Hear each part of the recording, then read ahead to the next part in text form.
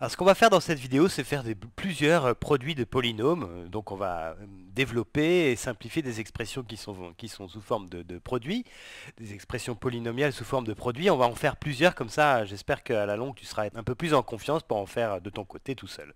Voilà, alors on va, on va commencer par celui-là par exemple. Disons 2x multiplié par 4x moins 5. Voilà. Donc ça, c'est un produit de polynôme. Ce polynôme 2x multiplié par celui-ci 4x moins 5. Et donc, ce qu'on doit faire, c'est euh, développer et simplifier euh, cette expression, ce produit, euh, pour avoir exécuté le produit de ces deux polynômes. Alors, en fait, ce qu'on va faire, hein, c'est uniquement utiliser la propriété distributivité qu'on a déjà utilisée dans d'autres vidéos. Eh bien, c'est ce qu'on fait. On le fait une fois ou plusieurs fois, ça dépend. Euh. Alors, dans ce produit-ci, on va distribuer une seule fois, c'est-à-dire qu'on va distribuer ce, ce terme-là, 2x, à ce terme-ci et à cet autre terme qui est dans la, qui, donc aux deux termes de la parenthèse. Voilà. Alors, quand je le fais, ça me donne 2x fois 4x. Donc ça, je peux l'écrire, 2x fois 4x, et puis plus moins 5 fois 2x, plus 2x fois moins 5, on pourrait dire comme ça, plutôt dans, l'ordre, enfin l'ordre ne compte pas, mais bon, ça fait 2x fois moins 5, et ça, donc le moins euh, sort, donc ça fait moins 2, on va l'écrire comme ça, moins 5 fois 2x. Donc c'est moins 5 fois 2x, ça c'est le produit de ça, 2x fois moins 5. Alors, maintenant, ce terme-ci, 2x fois 4x, ça, on peut l'écrire comme ça, 2x fois 4x. Comme la multiplication est commutative, l'ordre dans lequel on fait ces produits-là n'est pas, pas important, parce que ça c'est 2 fois x fois 4 fois x, et on peut changer l'ordre. Donc on peut écrire ça comme ça, 2 fois 4 fois x fois x. Voilà. Et puis, ici, alors 2 fois 4, 2 fois 4, ça fait 8 fois, alors x fois x, x fois x, eh bien c'est x au carré, on peut le voir comme ça aussi, x c'est x puissance 1, donc on a ici x puissance 1 fois x puissance 1, ça fait x puissance 1 plus 1, c'est-à-dire x puissance 2, c'est-à-dire x au carré. Voilà. Donc 2x fois 4x, ça fait 8x au carré. Donc ça, alors je vais mettre un signe égal ici, et là je vais continuer en dessous, donc ça me fait 8x au carré, ça c'est ce terme-là, moins 5 fois 2x. Alors 5 fois 2, ça fait 10. Donc on a moins 10x. Voilà. Et là, on a terminé, hein, puisque on a développé cette expression, et puis on a simplifié. Voilà. Bon, on va faire un, autre un petit peu plus compliqué. Alors cette fois-ci, on va faire ça, par exemple. 9x au cube, 9, 9x puissance 3, donc, multiplié par, et puis à l'intérieur, on va faire une parenthèse un peu plus, avec un peu plus de termes, on va dire 3x au carré moins 2x plus 7. Voilà, donc on a ce, polynôme-là, qui est en fait un monôme, et qu'on va multiplier par ce polynôme-ci. Alors, 9x au cube fois 3x au carré moins 2x plus 7. Donc là, ce qu'on va utiliser, c'est comme tout à l'heure, on va utiliser la distributivité. Donc on va distribuer ce terme-ci aux trois termes qui sont dans la parenthèse. Voilà, 1, 2 et 3. Hein. Alors, je vais le faire cette fois-ci, je vais le faire euh, complètement un pas à pas. Je vais bien détailler, puis après, on pourra aller un petit peu plus vite. Alors, d'abord, j'ai donc 9x au cube fois 3x au carré. Je vais l'écrire, 9x hein, au cube fois 3x au carré. Ensuite, le deuxième terme, c'est 9x, 9x au cube fois moins 2x. 9x au cube fois moins 2x. Donc là, je vais l'écrire plutôt comme ça. Moins 2x fois 9x au cube, c'est la même chose, hein. j'ai juste, euh, au lieu d'écrire 9x au cube fois moins 2x, je vais écrire moins 2x fois 9x au cube, l'ordre ne compte pas, donc on peut très bien faire comme ça. Et puis là, c'est 9x au cube fois 7, puis là je vais faire la même chose, hein. je vais écrire plutôt 7 fois, alors là je vais mettre un, un multiplié, 9x au cube. 7 fois 9x au cube. Là, je mets un signe multiplié comme ça en croix, hein, parce que comme c'est deux nombres, c'est pour éviter de confondre ça avec une virgule. Enfin bon, c'est pas très grave. Voilà, donc maintenant, on, va, on a développé, hein, on a utilisé la propriété de distributivité pour développer. Maintenant, on va simplifier un peu chacun des termes. Alors, ici, on a 9x au cube fois 3x au carré. on peut faire 9 fois 3 déjà. 9 fois 3, ça fait 18. Je mets les signes hein. Alors donc on a 18, puis on a des, x, alors ici x fois x puissance 3 fois x puissance 2. Alors pour multiplier comme ça deux, deux termes en x puissance quelque chose, en fait on additionne les exposants. Donc ça fait x puissance 3 plus 2, c'est-à-dire x puissance 5. Donc 18x puissance 5 moins, alors ici on a 2 fois 9, 2 fois 9, ça fait 18. Ah mais d'ailleurs je me suis trompé tout à l'heure, hein, c'est pas ici 9 fois 3, ça fait pas 18, ça fait 27. hein. Donc on a ici 27, ça c'est 9 fois 3, et puis x puissance 3 fois x puissance 2, ça fait bien x puissance 5. Donc on a 27 x puissance 5, moins, alors ici 2 fois 9, on disait 18, 2 fois 9 ça fait 18, et puis là on a x fois x puissance 3, donc en fait x c'est x puissance 1, hein, il faut se rappeler de ça, hein. x puissance 1 fois x puissance 3, donc là aussi on additionne les exposants, et ça nous fait x puissance 1 plus 3, c'est-à-dire x puissance 4. Voilà. Ensuite, on continue. Alors 7 fois 9, 7 fois 9, ça fait 63. 63, et puis x puissance 3. Voilà. Donc là, on a terminé, on a obtenu ce polynôme-là, hein, qui est un trinôme cette fois-ci. C'est 27 fois x puissance 5 moins 18x puissance 4 plus 63x au cube. Voilà. Alors là, je vais en faire encore un, hein, un, un autre. Et puis je vais faire plutôt, cette fois-ci, on va essayer de multiplier deux binômes. hein, parce que là, on a multiplié, ce qu'on a fait dans les deux exemples précédents, c'est un monôme multiplié par un trinôme ou un binôme. Ici, c'était un binôme, un monôme multiplié par un binôme, et là, un monôme multiplié par un trinôme. Là, on va faire euh, quelque chose d'un peu plus compliqué, puisqu'on va multiplier deux binômes. Bon, je vais, je vais préciser ça un petit peu, tu vas voir assez facilement, on en a déjà fait dans d'autres vidéos. Donc là, on va multiplier, par exemple, ces deux binômes-là, x-3, ça c'est un binôme, parce que c'est deux, il contient deux termes, x et moins 3, multiplié par x plus 2. Voilà. Bon, c'est vraiment quelque chose que tu vas rencontrer très très souvent, hein, des multiplications de ce genre-là, de deux binômes. C'est euh, vraiment très courant, donc il faut vraiment que tu, tu saches le faire. Alors, en fait, tu vas voir, ce qu'on fait, c'est uniquement utiliser plusieurs fois la propriété de distributivité. Alors, pour bien que tu comprennes ça, je vais faire quelque chose. Je vais me dire, je vais faire comme si ça, là, ce terme-là, cette première parenthèse, x-3, c'était un nombre. Et je vais l'appliquer, appliquer la propriété distributivité à ce nombre-là. Donc, en fait, je vais prendre ce nombre. Effectivement, hein, si tu donnes une valeur à x, ça sera un nombre, x-3, en dès qu'on donne une valeur à, ce x, à cette variable x, et bien ça, ça donnera un nombre. Et je vais distribuer ce nombre aux deux autres termes de la parenthèse. Donc, je vais faire comme ça, je vais prendre ça et je vais le distribuer aux deux termes qui sont ici, x et 2. Donc, alors, je vais l'écrire. Là, j'ai x moins 3, du coup, que j'ai multiplié par x, multiplié par x, et puis plus, maintenant j'obtiens le, deuxième terme, 2 fois, alors je vais l'écrire plutôt dans, dans, le même ordre, x moins 3 fois 2. Fois 2. Voilà, je ne mets pas de, multi, de signe multiplié, c'est un point, hein, ça, indique qu'on fait un produit ici. Alors voilà, ben ça c'est vraiment, hein, il faut bien que tu comprennes ça, ça c'est vraiment la propriété de distributivité que je vais écrire ici. C'est comme si j'avais appelé ce nombre-là, x-3, je l'appelle a, et je vais faire cette euh, opération-là, a fois x plus 2, et ça c'est égal à, alors je, peux très bien euh, distribuer ce a ici, a fois x et a fois 2, donc j'obtiens a fois x plus a, ça c'est a fois x, c'est cette multiplication-là, a fois x, plus a fois 2, plus a fois 2. Voilà, c'est vraiment ça que j'ai fait. Hein. Sauf que j'ai pas appelé ce nombre a, je l'ai laissé tel quel, x moins 3. Alors maintenant, pour continuer, ben, je vais encore une fois utiliser la propriété de distributivité, mais cette fois-ci euh, écrite dans l'autre sens. Hein, C'est-à-dire que je vais, distribuer ce terme-là aux deux autres termes de la parenthèse. Ensuite, je vais faire la même chose ici avec le 2 que je vais distribuer aux deux termes de la parenthèse. Voilà. Alors, je vais le faire, hein, je vais garder le même code couleur, comme ça ce sera un peu plus clair.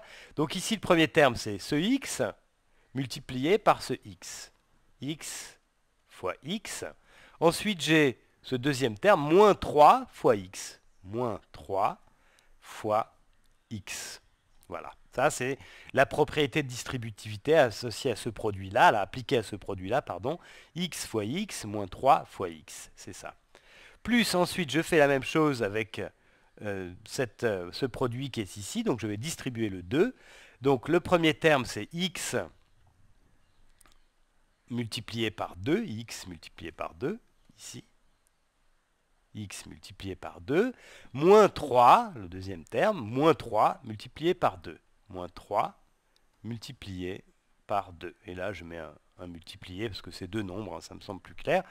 Voilà, donc ça, ça sont des égalités. Hein. Alors maintenant, je vais réécrire ça un peu plus correctement. Ici, je peux dire que c'est, alors je vais prendre une autre couleur cette fois-ci, ce terme-là, x fois x, bah, rappelle-toi, c'est x puissance 1 fois x puissance 1, donc c'est x puissance 1 plus 1, c'est-à-dire x au carré. Là, j'ai moins 3x, moins 3x, et ici, plus x fois 2, c'est 2x, plus 2x, voilà. Et puis moins 3 fois 2, ça fait 6, moins 6. Donc j'ai x au carré moins 3x plus 2x moins 6. Et là, je peux encore simplifier une autre un peu plus, puisque je peux réunir ces deux termes. Ici, j'ai ces deux termes en x. Hein. Donc j'ai combien de x en tout? C'est ça qu'il faut se demander. Ici, j'en ai moins 3 et là, j'en ai 2. Donc moins 3 plus 2, ça fait moins 1. Donc j'ai en tout moins 1x, moins x. Donc là, je peux écrire ça x au carré moins x moins 6. Voilà, ça. Ça, moins 3x plus 2x, ça fait moins x. Voilà, alors bon, avant d'en faire un autre, hein, je voudrais quand même te faire remarquer que tu peux euh, aller un peu plus vite que ça, et qu'en fait, ce qu'on fait quand on applique deux fois la propriété de distributivité qui est ici, en fait, on fait la multiplication de chaque terme par chacun, chaque terme de la première parenthèse par chaque terme de la deuxième. Hein. Donc on peut aller un petit peu plus vite, je vais le faire ici. Quand on doit multiplier ça, x-3 fois x plus 2, bien en fait, on, fait d'abord le produit de ces deux termes-là, donc c'est x au carré. Ensuite, le produit de ces deux termes ici, x fois 2, donc plus 2x.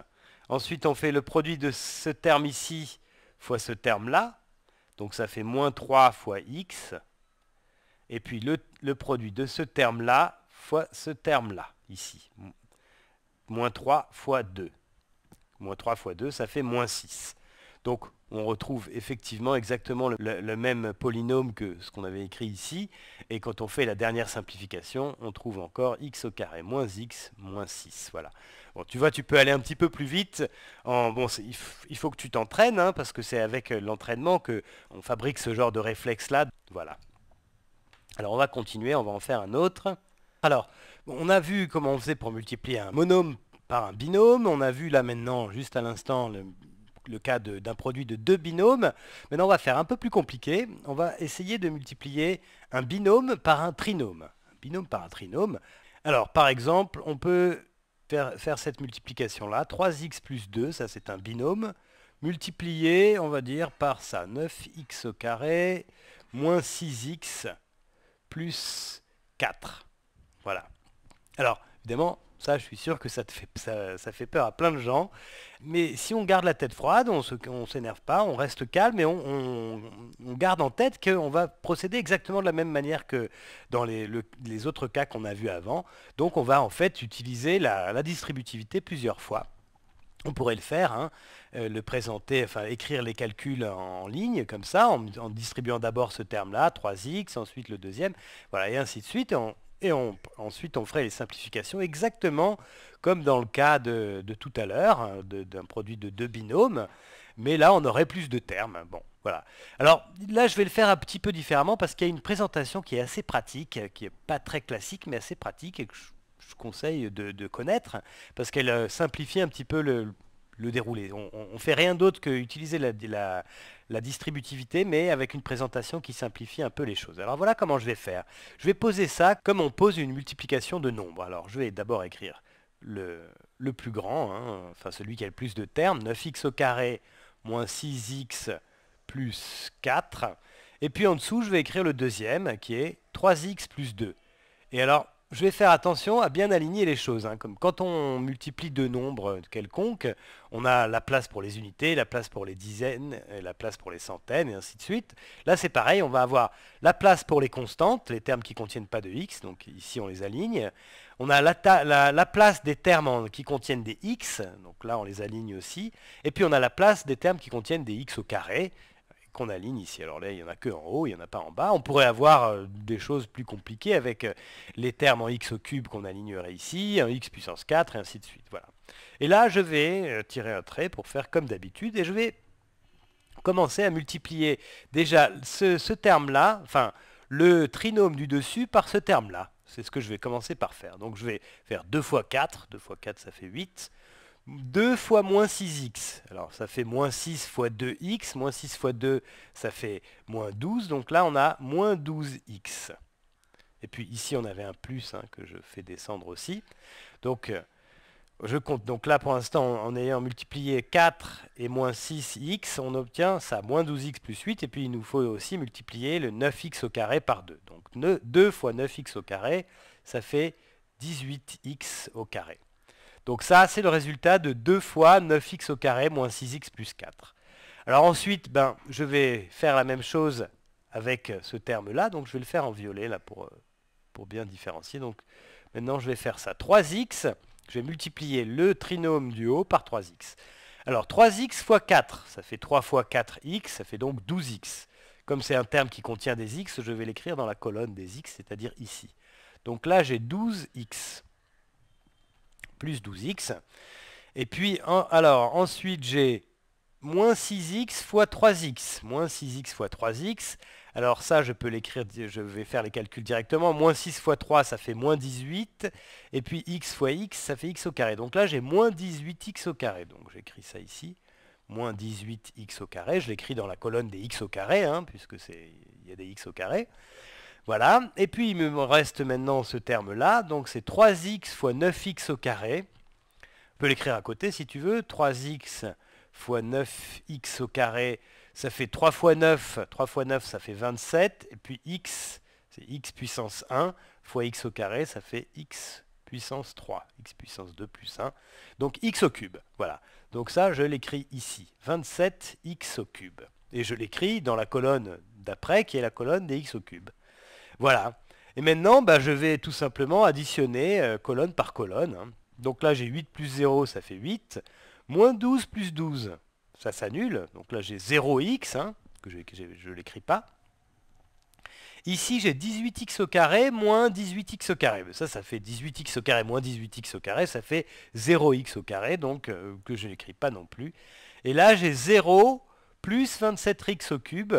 Ça fait donc 27x au cube. Donc je, trouve finalement ça.